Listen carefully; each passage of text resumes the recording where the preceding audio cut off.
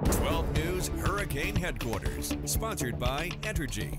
All eyes on the Gulf tonight as a tropical disturbance crawls west from the Florida Panhandle. The good news, the system's running out of room. Good evening to you. Thanks for joining us. I'm Jordan Williams. And I'm Clay Rhodes. It's looking like it'll send some rain our way. Let's go ahead and bring in Chief Meteorologist Patrick Vaughn. Patrick, when should we expect that rain? I think tomorrow evening uh, we should see showers moving in from the east. And again, this is just not going to do it. I don't think this is going to become a depression. We think that the low is about right there.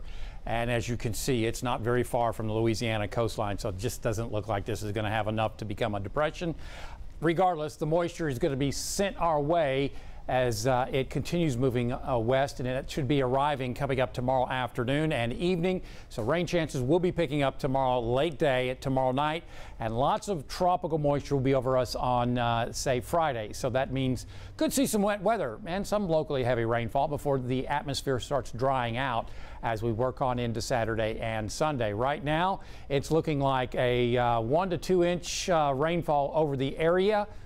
Obviously, in this tropical environment, exceptions of higher amounts are certainly possible. You know, three, four, five inches are certainly not out of the realm of possibility. So just be aware that that is uh, on the back burner. That could happen. Regardless, we're looking at quiet weather conditions out there now.